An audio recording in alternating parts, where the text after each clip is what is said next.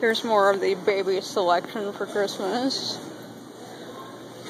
We've got the cute little pink dresses. Maybe that's what Sandra needs. Ha ha ha. I know somebody who will love to see that one. Let's see what the rest of these are like.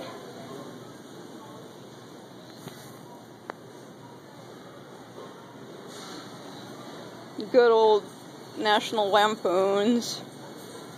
Oh, too cute. All these cute dresses, they come in other sizes. That would be cool for Brianna. Then, you know, the typical women's sweaters.